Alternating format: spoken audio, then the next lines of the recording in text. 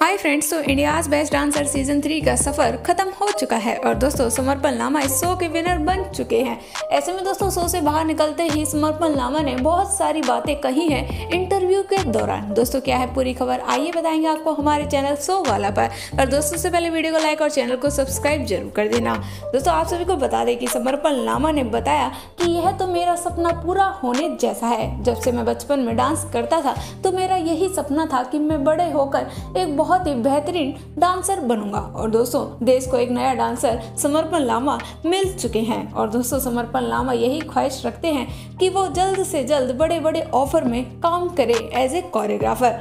वही दोस्तों समर्पण लामा कहते हैं कि मेरे माँ बाप का सपना भी अब पूरा हो जाएगा। दोस्तों, वर्षों का संघर्ष भी अब खत्म होगा। जहाँ समर्पण लामा अपनी स्टोरी और स्ट्रगल भरी कहानी बताते हुए भी मंच पर नज़र आए थे। ऐसे में दोस्तों समर्पण लामा के अब सभी सपने पूरे हो जाएँगे। और दोस्तों, हमारी तरफ़ से समर्पण लामा को उनके फ्यूचर के लिए बहुत बहुत बधाई। ऐसे ही समर्पण लामा देश के बेहतरीन डांसरों की लिस्ट में शामिल हो जाए। और दोस्तों समर्पण लामा को अब सीज़न थ्री के विनर के नाम से ही जाना जाएगा, जो कि उनके सपने पूरे होने जैसा है। वैसे दोस्तों समर्पण लामा विनर बनने के साथ ही उनको मिला है आईबीडी सीज़न थ्री की तरफ़ से एक चमचमाती ट्रॉफी के साथ पंद्रह लाख रुपए का चेक और दोस्तों उनकी रही कोरियोग्राफ फोटोग्राफर भावना खंडूजा। उनको मिला है पाँच लाख रुपए का कैश प्राइज।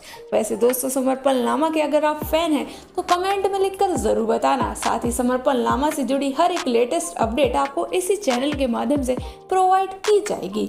दोस्तों, वीडियो को लाइक और चैनल को सब्सक्राइब ज़रूर कर लें। मिलते हैं नेक्स्ट वीडियो में। Thanks for watching